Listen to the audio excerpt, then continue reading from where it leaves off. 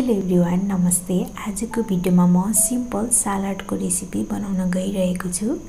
यो बनाउन एकदमै सजिलो छ र थोरै इन्ग्रिडियन्टबाट बनिन्छ। यसको लागि मैले लिएको छु थोरै पत्ता गोबी नुन गाजर मेने सस अनि मरिचको धुलो। ससको रेसिपी मैले च्यानलमा राखिसकेको छु। यहाँ क्लिक गरेर हेर्न सक्नुहुन्छ। यसलाई बनाउन एकदमै सजिलो छ। सालाडको निम्ति बन्दाकोपीलाई यसरी लामो पातरले हुने गरी काट्छु।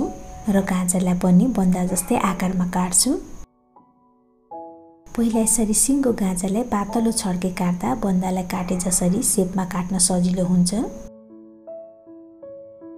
आफ्नो इच्छा अनुसारले जस्तो सुकै सेपमा पनि काट्न सकिन्छ तर यसरी काट्दा सालड राम्रो देखिन्छ र अर्को प्लेटमा खन्याउँछु।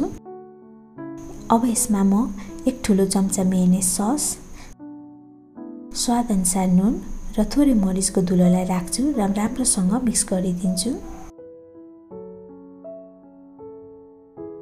यसरी राम्रोसँग मिक्स गरिदिइसकेपछि यो सालाड तयार हुन्छ।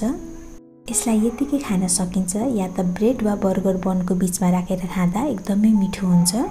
एकचोटि अवश्य ट्राई गर्नुहोला। आशा छ भिडियो मन पर्यो होला। भिडियो मन पर्यो भने भिडियोलाई लाइक गर्नुहोला र च्यानललाई सब्सक्राइब पनि गर्नुहोला।